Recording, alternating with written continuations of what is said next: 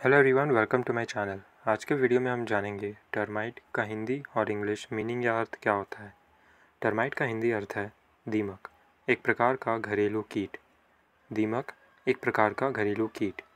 वहीं इसका English meaning है a small insect that lives in large groups mainly in hot countries a small insect that lives in large groups mainly in hot countries एक example से समझते हैं, इसे example all over the tropic stand termite hills उदाहरण, सभी उष्ण कटिबंध में दीमक की पहाड़ियाँ खड़ी हैं।